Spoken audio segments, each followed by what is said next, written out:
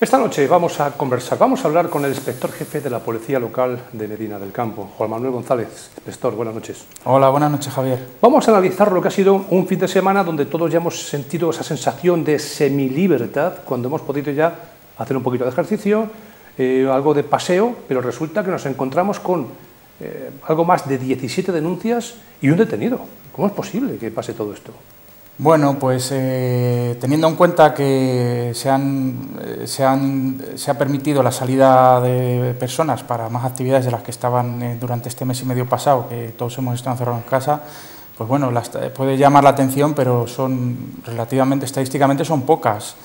todos hemos visto con el buen tiempo que Medina pues, ha salido muchísima gente este, este fin de semana. Eh, casi todas eh, dentro de lo que es las normas permitidas del estado de alarma y la fase cero, que es en la que estamos.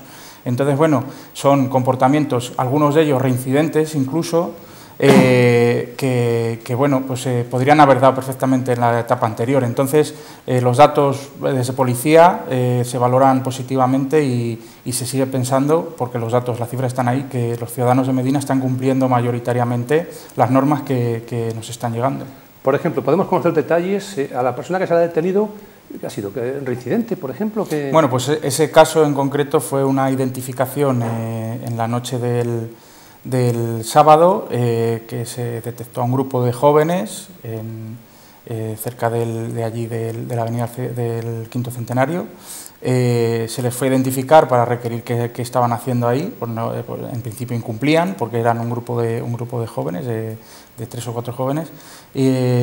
Mm, uno de ellos no iba identificado, eh, a la hora de pedirse la identificación, pues eh, hizo amago de incluso de irse corriendo y se negó y se eh, resistió activamente a la, a la, identificación de los policías, pues que no vieron otra que, que tuvieron que detenerle, claro, porque esa persona, pues por los motivos del estado de alarma, pues entraba dentro de los, de los parámetros. Hemos visto imágenes en Madrid, bueno, que llaman cuando menos la atención, ¿no? Un botellón como si fuese eh, San Isidro. Eh, ¿Aquí en Medina hay también algún tipo de, aglomeración de gente joven, tipo botellón ha habido aquí en Medina? No, aparte de esto, que esto, este, esta puntualización que está usted comentando ahora mismo.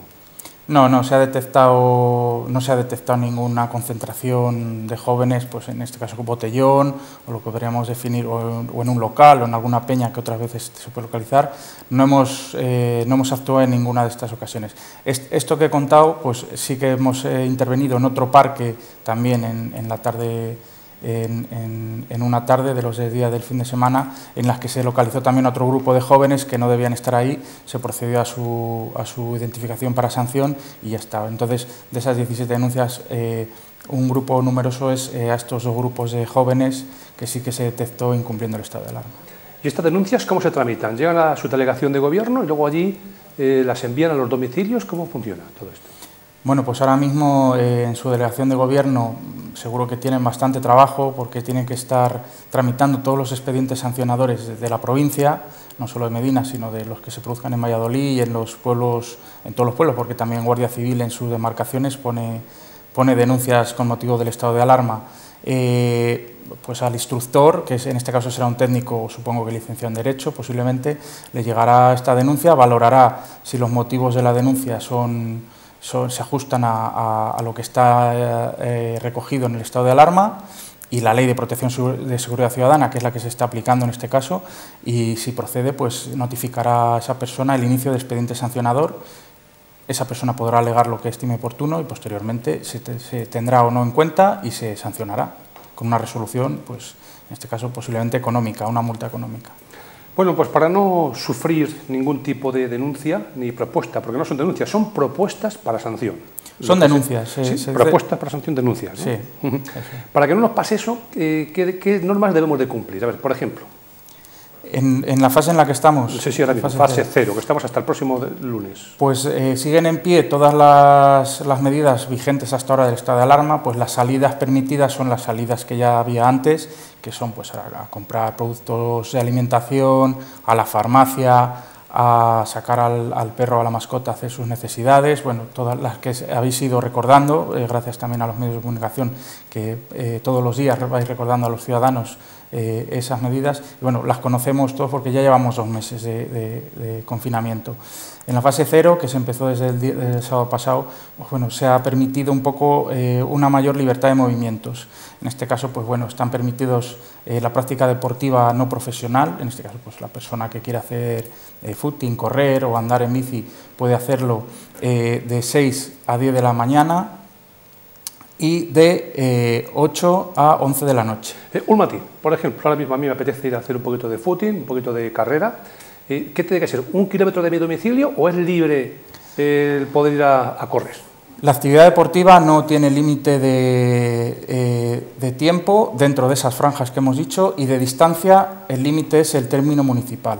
Entonces una persona podría pues, hacerse una carrera de 10 kilómetros siempre que no salga del término municipal. O sea, yo podría ir, por ejemplo, desde Medina del Campo hasta, Cuatro caminos. El, hasta el balneario, podía, podía ir a correr. Sí, sí. Ojo, bueno, es que el balneario ya pertenecía sí, tiene a, Campillo, creo recordar. La ermita, el camino que de entrada, el camino de adoquines de entrada al balneario eh, la, ermita pertenece a Campillo. Eso es. Por lo tanto, ya estaríamos incumpliendo las normas. ¿no? Si, hubiese un policía ahí, nos puede denunciar, sancionar. Entonces, bueno, hay que ir. El camino, el camino que hay por fuera del balneario sí que está dentro del término de Medina. Bien, ahora eso para la gente que va a correr. Y en bicicleta, ¿no? Las dos cosas. sí, en bicicleta, o el deporte que sea, que claro que bueno, eh, aquí son los más practicados. Pues, eh, el running, que se llama ahora, que es el footing o el atletismo de otras ocasiones, y, el ciclismo. Una segunda parte, las personas que van a andar, que van de paseo, pueden salir también, por ejemplo, por el carril bici que conocemos todos, carretera de las Salinas, pueden salir por ahí o no? ¿O tiene que ser un kilómetro de su domicilio? a ver, aquí, aquí, tenemos que diferenciar lo que es el, paseo en sí, pues una persona que salga a pasear, eh, eh, que, se lo tome como no, una, no como una actividad deportiva, y la, y la marcha o o el, paso, paso ligero o paso rápido, que muchas personas pues sí que se hacían muchos kilómetros andando y es una actividad deportiva. Entonces, eh, el policía puede, puede identificar a una persona pues, que esté con, con sus vaqueros y su ropa, pues, eh, porque aquí todos estamos hablando de indicios, el policía tiene mm. que hacer preguntas para valorar. Si vemos a una persona que está eh, con una ropa que no adecuada, eh, una, actitud que no parece que esté haciendo deporte, sino que va charlando con otras personas, pues eso entendemos que es un paseo, entonces podríamos denunciarle si está más de un kilómetro de su domicilio. Otra persona que veamos en chándal o en pantalón corto, a un paso rápido, que no llega a lo mejor a correr, pero lleva una marcha eh, rápida, pues eh, puede entenderse como una actividad deportiva, porque muchas personas, y más a cierta edad, o por recomendaciones médicas, es lo único que pueden hacer. Entonces vamos a entrar a valorar caso por caso. Entonces, podríamos diferenciar lo que es un paseo, eh, pues un paseo de ocio, eh, pues de esto que se para uno en un escaparate o, a charlar, pues eso no, está permitido a más de un kilómetro. Pero una marcha deportiva, pues podría, podría entrar dentro del deporte. O sea, que si alguien va por el carril bici, por una mujer, por poner un ejemplo, ¿no? con un vestido de tacones, como pues, que, como que deporte no va a hacer. Pues no, o andando a un paso eh, muy despacito, si no tiene una, una justificación médica que, que, solo puede ir a esa, a esa velocidad pues podría ser sancionada, porque si no, no se consideraría deporte, porque para ir a esa marcha puede hacer ese recorrido a un kilómetro de su, de su domicilio. Pero, por ejemplo, Rajoy sí que podría, esa marcha que lleva Rajoy tan acelerada, sí que podría, no hay ningún problema. Pues en principio sí, pero ya, como digo, en caso de duda los policías van a indagar y van a preguntar y van a hacer todas las las averiguaciones oportunas para ver si se está haciendo deporte efectivamente o se, nos quiere engañar y se, está, se ha salido a andar y, no es una actividad deportiva. Bueno, dejamos ese horario de las personas que pueden salir de paseo o bien hacer algún tipo de deporte para marcharnos a los mayores de 70 años. Así es, los mayores de, los mayores de 70 años podrían salir de casa entre las 12 de, 10 de la mañana a 12. De 10 de la mañana, que es cuando acaba, el, para no coincidir en las franjas horarias, de 10 a 12, esas dos horas, y de 7 a 8 de la tarde. Eh, en esos momentos, pues eh, estas franjas se han, se han, estipulado para no coincidir las franjas de edad eh, y sobre todo para proteger a estas personas que son las más vulnerables. Entonces, bueno, lo que hemos detectado en Medina también que se está cumpliendo. Se detecta personas de mayores de 70 años a veces fuera de esas franjas de edad porque esas franjas son para darse el paseo. Ese paseo que estamos diciendo que se pueden dar es para poder darse ese paseo a un kilómetro de su domicilio. ¿Se detecta personas fuera de esa franja? Pues sí, estamos detectando que van a comprar, que van al médico, que van a la farmacia. Entonces, eh, siempre se pueden, eh, son compatibles con el resto de actividades que ya estaban permitidas. hay que tenerlo en cuenta. Y luego después tenemos la última franja de edad, que son los niños eh, de, 10, de 11 de la mañana a, a 7 de la tarde. No, de 12 a 7 de la tarde. De 12 a 7 de la tarde, toda esa franja de edad es cuando van a poder sacar las familias a sus hijos, que como ya sabemos, de momento solo puede salir uno de los progenitores con hasta tres niños, respetando siempre también lo del kilómetro, la hora, una hora, y eh, eh, no, pues no, no, los parques infantiles están cerrados, pero no pueden realizar juegos de grupo ni, ni estar con otros grupos de niños jugando. Entonces sería ese, ese paseo, esa actividad deportiva que hace el niño y irse para casa, claro. Yo me imagino que tenemos que apelar todos un poco a la responsabilidad de las personas, ¿no? porque ¿cómo va la policía a controlar una hora que esté un niño en la, en la calle. Es imposible.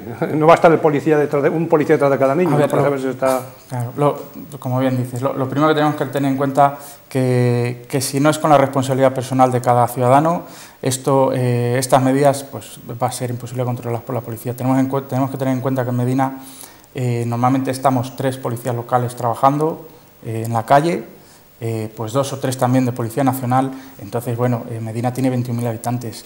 Si todos, salir, si todos incumplieran eh, estas medidas, pues sería, tendríamos que estar denunciando a toda la población. No, podría, no tendríamos capacidad. Si no es con la responsabilidad personal de, en, los comportamientos de cada uno, no se va a poder cumplir. Nosotros sí que estamos denunciando y como bien vais facilitando, nosotros os, os damos datos periódicamente, actitudes que están incumpliendo, que muchas veces son las más llamativas, pero eh, es de la forma que se puede controlar. Yo creo que el comportamiento de los ciudadanos de Medina está siendo muy cívico, están eh, cumpliéndose de forma general eh, todas las normas que nos van marcando del Ministerio de Sanidad, sobre todo que es el que más normas está sacando en este sentido. Y, bueno, si se cumplen en Medina y, y, y, se ve que el número de infectados pues, no sube, sobre todo aquí en la zona médica que pertenece al centro de Medina, posiblemente podamos pasar a las fases pues según está planeado o incluso antes. Entonces, invito a todos los ciudadanos de Medina que sigan cumpliendo como han cumplido hasta ahora. Uh -huh. El próximo lunes comienza una nueva fase y cada fase pues hay muchas incógnitas, muchas dudas, ¿no?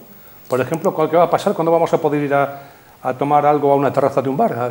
Dentro de estos horarios, de 7 de la mañana a 10 y de 8 a 11, ¿cuándo podemos ir? ¿Los mayores pueden ir a tomar un algo un café de 10 a 12 y de 7 a 8? Bueno, pues vamos a esperar a, a, ver cómo es la siguiente fase, porque como estamos viendo, siempre se está apurando mucho con, con esos flecos de, eh, de pase de una fase a otra y suele ser durante el fin de semana. Entonces vamos a esperar este fin de semana a ver, eh, supongo que esperarán a ver los datos de, de contagiados y fallecidos el gobierno para tomar unas medidas más drásticas u otras, un poco, de más de relajación. Entonces, la fase 1 sí que lo que va a conllevar es la apertura eh, un poco más del comercio minorista, hostelería va a, empezar, va a poder empezar a, abrir en un tanto por ciento con un aforo limitado, eh, pero todo eso va a, ver, va a ir en función, yo creo, que de, las cifras que vayan dando esta semana. Entonces, los flecos para horarios o un poco afinar más, pues serán durante este fin de semana, supongo.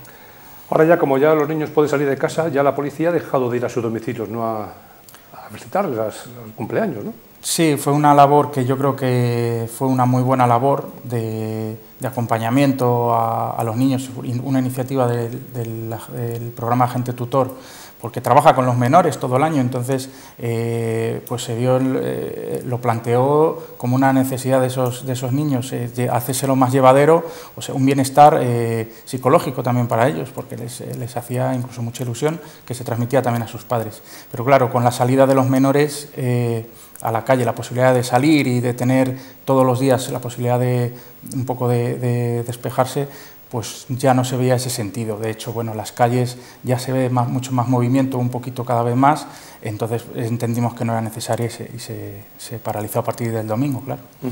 Creo que va a, haber a, salir a la calle un, un tipo de una publicación donde van a estar ahí los niños con los cumpleaños y todo por parte de la policía.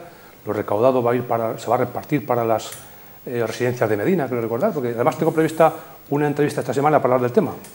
Sí, al parecer, pues como hubo momentos muy emotivos, que muchos de ellos fueron recogidos en fotografía, se va a hacer una, un libro eh, en el que pues bueno, eh, no se va, a ser sin ánimo de lucro y con todos los beneficios en principio a repartir entre las residencias de Medina, que son las que eh, más lo van a necesitar porque van a tener que posiblemente tomar muchas medidas pues, para que intentar eh, salvaguardar en todos estos meses que nos quedan y sobre todo de cara al otoño, que puede ser también, pues que bueno, se, puede que sea un repunte. Entonces vamos a ver si entre todos ayudamos a esas residencias y que, y que, y que pues, se pueda salir cuanto antes también ellas, ellas de, esta situación.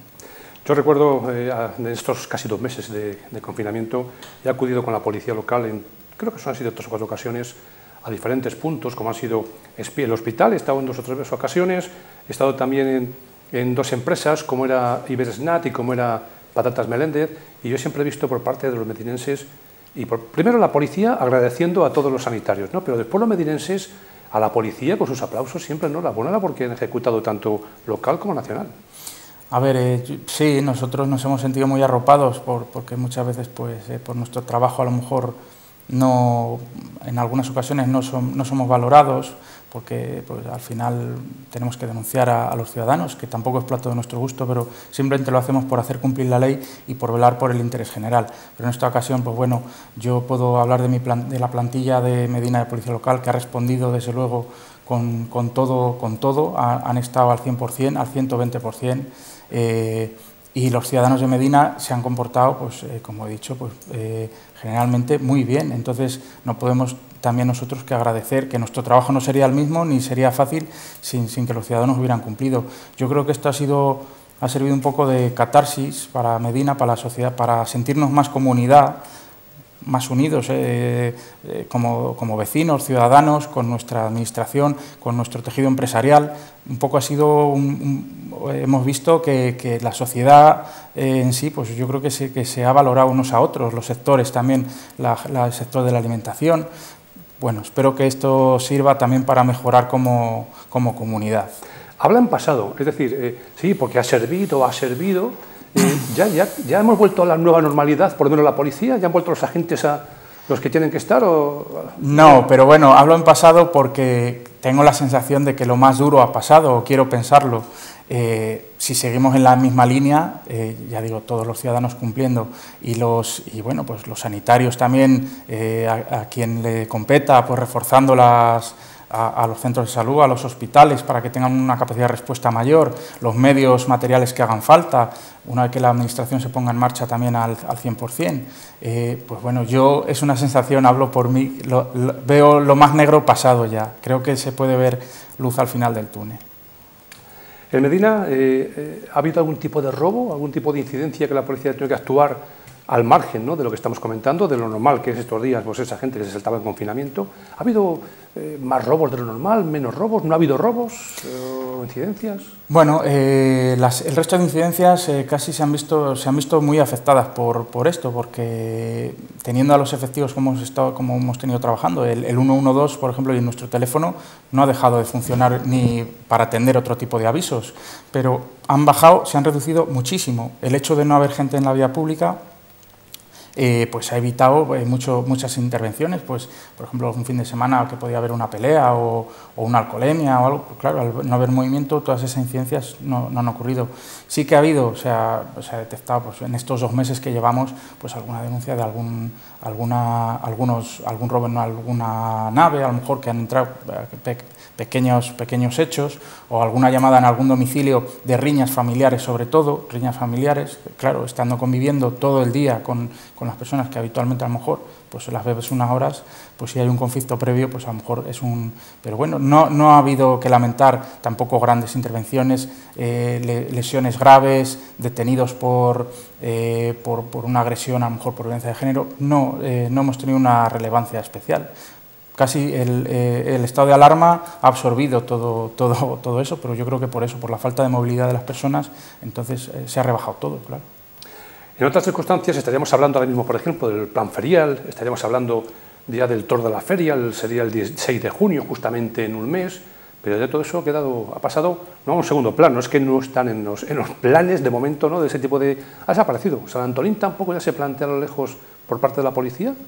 Bueno, tampoco se llama renacentista, por ejemplo. Esas son decisiones que supongo que tomará pues, el equipo de gobierno en base a las normas que, vengan sanitarias. y las normas de, pues, que se puedan hacer de, eventos o de aforos y, las decisiones que se tomen estarán basadas en, en, lo que se puede hacer y lo que no. Eh, bueno, parece ser que a lo mejor en San Antolín sí que se podría hacer alguna actividad, eh, no lo sé, que de aquí a septiembre. Eh, lo que pasa que, bueno, a corto plazo, claro, el verano que ahora empezaban muchísimas actividades de ferias, de pues de fiestas también privadas, de algún bar que hacía, solía hacer alguna fiesta, eh, el toro de la feria, la feria renacentista, pues bueno, está último, esa últimos mediados, últimos de agosto, pues, pues no lo sé, quién sabe si se podrá hacer o no, eh, porque muchos de los puestos pues son de, alimentación, pues a lo mejor con ciertas medidas, pero claro, eso lo van, las decisiones que, que tenga que tomar, que se tenga que tomar, estarán basadas en lo que se pueda y lo que no se puede hacer. Ayer un bando de alcaldía, pues vamos a volver un poco a una mínima normalidad, porque el domingo ya tendremos mercadillo, pero ojo, no mercadillo de venta de ropas y zapatos, solamente va a ser lo que es la alimentación, ¿verdad? Así es, eh, son los productos que se pueden vender, que son de alimentación exclusivamente. Eh, otro tipo de productos no se van a poder vender, o sea, las personas que no vayan a comprar eh, ropa o, otro, o calzado, porque no va a haber, no se van a montar esos puestos, solo son de ropa digo, de, de, alimentación, mm. eh, los puestos que se montan normalmente al lado del mercado eh, de las carnicerías y los que se montarán arriba. Siempre guardando unas medidas de seguridad, pues los puestos no pueden estar juntos, eh, entre puestos tiene que haber una distancia, entre las personas también, tendrán que estar separadas por dos metros, nosotros estaremos reforzar el servicio para, para vigilar que se cumplan esas medidas y bueno, espero que, se, vaya con normalidad y, y, y poco a poco la semana siguiente a lo mejor pues se pueden posiblemente se podrá montar algún puesto más. Pues tenemos que concluir, tenemos que dejarlo aquí, pero sí una última pregunta, porque yo estoy viendo que hay vehículos que tienen que pasar la ITV y no pueden, es lógico, no se puede desplazar, y mucho menos si tienes pensado ir a Alévalo, eh, hasta dentro de dos meses casi ni puedes ir a Alévalo, ¿no? ¿Estos vehículos eh, pueden ser sancionados por parte de la policía por, no tener la ITV al día? No, ahora mismo los plazos de ITV están paralizados, eh, las normas que nos han dado ahora mismo es que desde que finalice el estado de alarma habrá, eh, tendrán tiempo de sobra esas personas para pasar la ITV. Creo que son 60 días, se les dará para poder pasar la ITV, o 30, 30 días para pasar la ITV después. Entonces, bueno, eh, que no se preocupe quien tenga la ITV caducada, porque no se le podrá sancionar por eso. Lo que sí recomiendo el ITV no es más que una inspección técnica de que el vehículo está en condiciones. Eso no exime para que el ciudadano que tenga que cambiar las ruedas al coche las tenga que cambiar. O si tiene un foco roto, lo tiene que cambiar, porque esas normas siguen vigentes. La única que no es que la ITV, que es un trámite administrativo, pues no, no se puede sancionar si está caducada. Pero si el vehículo no reúne las características técnicas de seguridad exigibles, sí que se le podrá denunciar o inmovilizar incluso. No por el hecho del ETV, sino por el hecho de que tenga el parabrisas roto, una luz fundida, etcétera. Yo no sé si leía yo antes de ayer que todos los días, todos los meses suelen pasar como un millón y medio de vehículos, un millón ochocientos mil vehículos de ETV en España, ¿no? Yo me imagino que ahora si lo multiplicamos por tres meses, pues son cinco millones de vehículos para pasar en poco tiempo. O sea, va a ser algo que va a estar colapsado, dicen, va a estar colapsado por meses, ¿eh? Bueno, pues tendrán, posiblemente, eh, no, sé, pero eh, preveo a lo mejor que, haya una prórroga de ese plazo que den y claro, las ITV, las, estaciones ITV tendrán que reforzarse porque si no, pues lo que, lo que dices, no va a poderse sacar, normalmente muchas veces en ciertas épocas ya costaba una cita a corto plazo, pues ahora más. Entonces, bueno, espero que se tomen medidas para que todos los ciudadanos puedan pasar la ITV en condiciones, porque como digo, lo único que hace esa inspección es poner en valor, eh, eh, comprobar que cumple las medidas de seguridad ese vehículo para poder circular. Entonces, es fundamental que esa inspección se pase. Y luego los propios ingenieros que pasan el TV, bueno, pues van a entrar en el vehículo, van a tocar el vehículo, hay que desinfectar el vehículo, ¿qué hay que hacer? O sea, que hay una serie de incógnitas ahí que... Claro, bueno, las medidas que tendrán que tomar eh, serán posiblemente pues con todas las medidas de seguridad oportunas. Eso es. Juan Manuel González es el inspector jefe de la Policía Local. Muchísimas gracias, enhorabuena por la labor que han hecho todos los agentes, que han estado todos, eh, no al 100%, al 120%, porque yo he hablado con alguna gente no es que he estado de noche y entro a la de tarde, pero si no han pasado ni ocho horas. Es que estamos así, estamos trabajando, duplicando nuestros esfuerzos. hay que tener en cuenta, pues somos una plantilla corta y, el servicio que teníamos que prestar pues era fundamental. Entonces los policías no se han echado para atrás y, desde luego han cumplido, han cumplido como, con lo que se les exigía y yo creo que con, con nota alta. O sea que todo lo que se hablaba entonces hace un tiempo, ¿no? que cuando no cobraban, no, es que no quieren trabajar, es que cuando cobran poco, que estaban de manifestaciones, que estaban de... Todo eso ha quedado claro que cuando tienen que trabajar están ahí los primeros. ¿no? Así es. O sea que, Juan Manuel, muchísimas gracias y enhorabuena. Gracias, Javier, a vosotros.